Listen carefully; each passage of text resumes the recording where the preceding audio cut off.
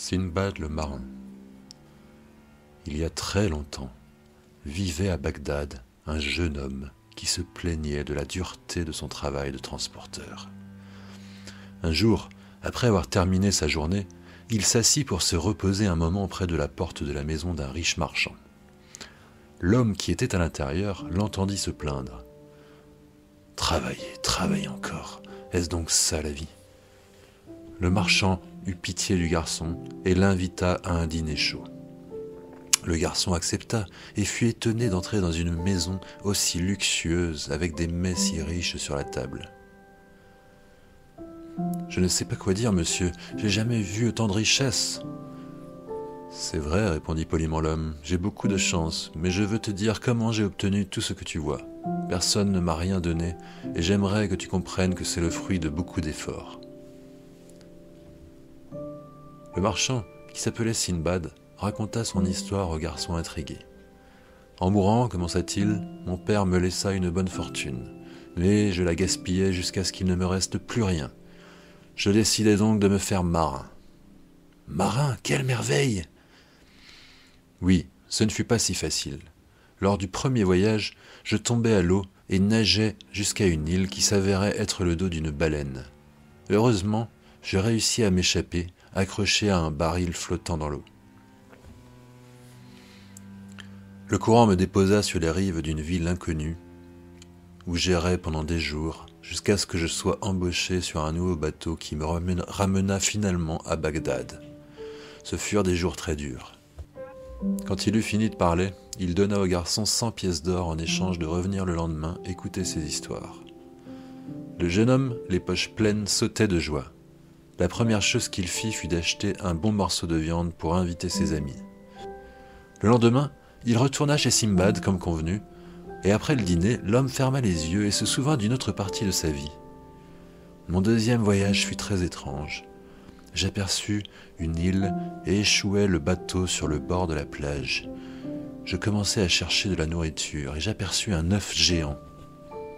Alors que j'allais m'en emparer, un oiseau géant se posa sur mes épaules, m'attrapa avec ses puissantes griffes et me souleva vers le ciel. Je volais comme un aigle, et bien qu'effrayé au possible, je m'extasiais de voir la terre de si haut. D'abord, je pensais qu'il me jetterait au-dessus de la mer, mais il changea de direction et me lâcha au-dessus d'une vallée pleine de diamants.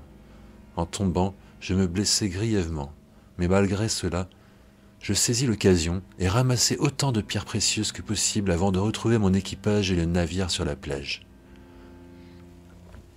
Quand il eut fini de remémorer son deuxième voyage, Simbad donna cent autres pièces au jeune homme, l'invitant à revenir le lendemain. Le garçon commençait à apprécier le récit des aventures du vieux Simbad, et il était toujours ponctuel à leur rendez-vous. Cette fois encore, l'homme se perdit dans les méandres de ses souvenirs enflammés. Cela te paraîtra étrange, dit-il. Grâce au diamant, j'étais maintenant un homme riche et vivais comme un prince. Mais malgré cela, l'appel de la mer et du large était plus fort, et je préparais donc un nouveau voyage. Cette fois encore, j'eus de nombreuses aventures passionnantes. Nous débarquâmes sur une île où vivaient des centaines de pygmées sauvages qui détruisirent mon bateau. Ils nous ligotèrent et nous amenèrent chez leur chef, qui était un grand géant borne à l'air hideux. Un géant borgne Quelle horreur Oui, c'était terrifiant. Il mangeait tous mes marins, mais comme j'étais très maigre et qu'il était déjà bien rassasié, il me laissa sur le côté. Il s'endormit, et j'en profitai pour attraper le tisonnier du feu, qui était brûlant, et le plantai dans son œil unique. Il entra dans une colère immense et criait à en faire trembler la montagne.